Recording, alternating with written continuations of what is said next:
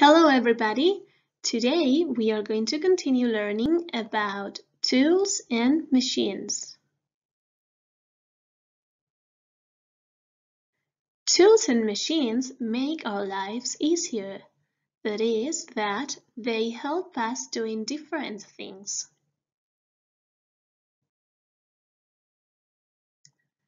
Let's start with tools. Tools, as we know, are simple because they have only one or two parts. Some examples of tools are a saw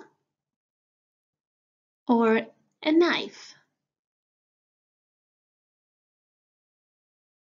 But what happens with machines?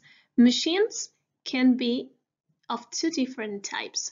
We can have simple machines or complex machines.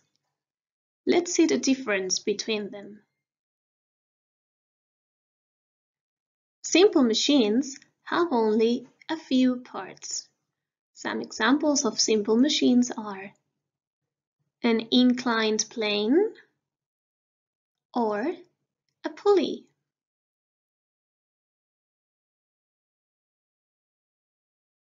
On the other hand, complex machines have lots of parts.